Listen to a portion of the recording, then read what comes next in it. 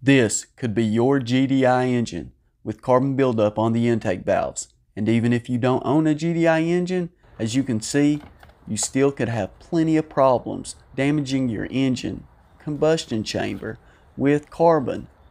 And it gets even worse, guys. We'll get into that in just a moment. But as you can see, I've added a filter to the breathing side of the PCV system. Check out the mileage. We only had 2,500 miles between the last oil change. And that's when I changed the oil catch can.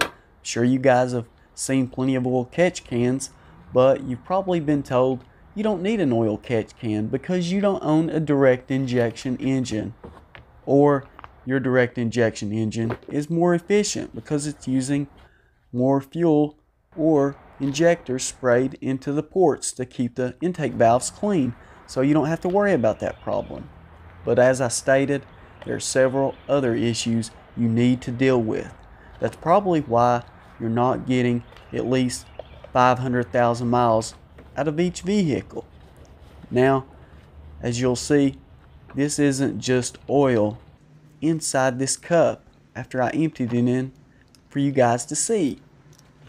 There's fuel mixed in with this. Now that's part of the PCV process. Fuel vapors are brought in with it and this would have been burned in the combustion chamber.